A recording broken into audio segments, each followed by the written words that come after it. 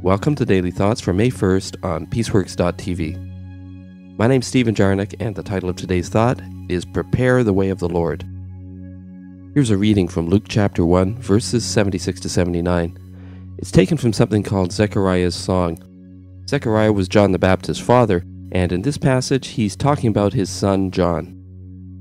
And you, my child, will be called a prophet of the Most High, for you will go on before the Lord to prepare the way for him, to give his people the knowledge of salvation through the forgiveness of their sins, because of the tender mercy of our God, by which the rising sun will come to us from heaven, to shine on those living in darkness and in the shadow of death, to guide our feet into the path of peace. So before he's even born, it's already known that John will be preparing the way of Jesus by shining a light on those living in darkness. Now, this guy's a pretty wild dude, living out in the desert eating locusts and honey. But what does he have to say about Jesus?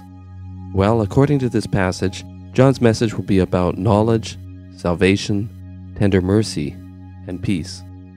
I find it hard to read this without picturing the beginning of the movie Godspell, where John the Baptist is calling people to follow Jesus and then he baptizes them in the fountain in the park.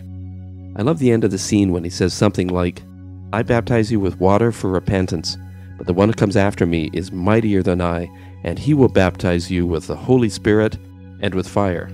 Except he says it a whole lot better than I just did.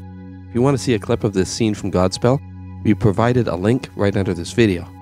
Maybe our prayer today should be as simple as just saying, Heavenly Father, please help us to prepare the way of the Lord and in his name I pray. Amen.